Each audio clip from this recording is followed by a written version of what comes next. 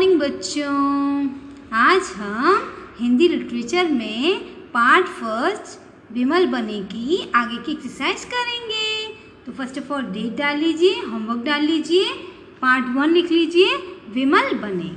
चलिए स्टार्ट करते हैं। कविता में से मिलते, जुलते शब्द छाट कर लिखिए। कविता आपने पढ़ी थी ना, विमल बने, उसमें से आपको मिलते जुलते शब्द छाट कर लिखने हैं। जैसे मिलते जुलते शब्द क्या होते हैं? जल, फल। मिलते जुलते शब्द जैसे हमने एक शब्द लिखा, उसका लास्ट का अक्षर क्या है? ल, जैसे ला है। यहाँ पर पहला शब्द क्या दिया है? ल। तो इसमें भी हमारा ला आना चाहिए। जो मिलते जुलते शब्द हैं लास्ट का अक्षर सेम होना चाहिए दोनों का। मिलते जुलते शब्द में लास्ट का अक्षर सेम होना चाहिए। जला, जल। फल फल। सेम हो गया। नेक्स्ट घाट। बाट। देखिए टा यहाँ भी आया, यहाँ आया। दोनों सेम है? सरल।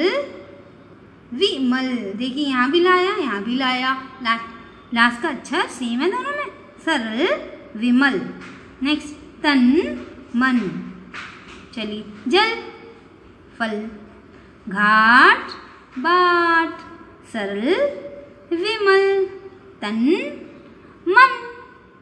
ये हमारी एक्सरसाइज कंप्लीट हो गई नेक्स्ट पर आ जाते हैं। निम्न शब्दों के पर्यायवाची शब्द लिखिए। निम्न शब्दों के क्या करने हमें? पर्यायवाची। पर्यायवाची होते क्या हैं? पर्यायवाची जैसे एक शब्द ले लिया उसके कई मीनिंग होते हैं। जैसे हमारा नेम है तो हमारे नेम के भी कई मीनिंग होंगे। तो वही होता है, पर्यायवाची एक मीनिंग नहीं होता, उसके खूब सारे मीनिंग होते हैं, कई मीनिंग होते हैं। जैसे यहाँ दिया देश, अब देश का दूसरा मीनिंग क्या है? राष्ट्र। अब देश को हम राष्ट्र भी बोलते हैं। क्या बोलते हैं? राष्ट्र। नेक्स्ट जल, पानी। जल को हम पानी भी बोलते हैं। घर, ग्रह। घर को ग्रह भी बोलते हैं। प्रभु, ईश्वर। हवा, वायु, वन, जंगल, विमल, साफ़, तन, शरीर। इसे रिपीट कर हैं देश, राष्ट्र, जल, पानी, घर, ग्रह, प्रभु, ईश्वर, हवा, वायु, वन, जंगल, विमल, साफ़। तन शरीर।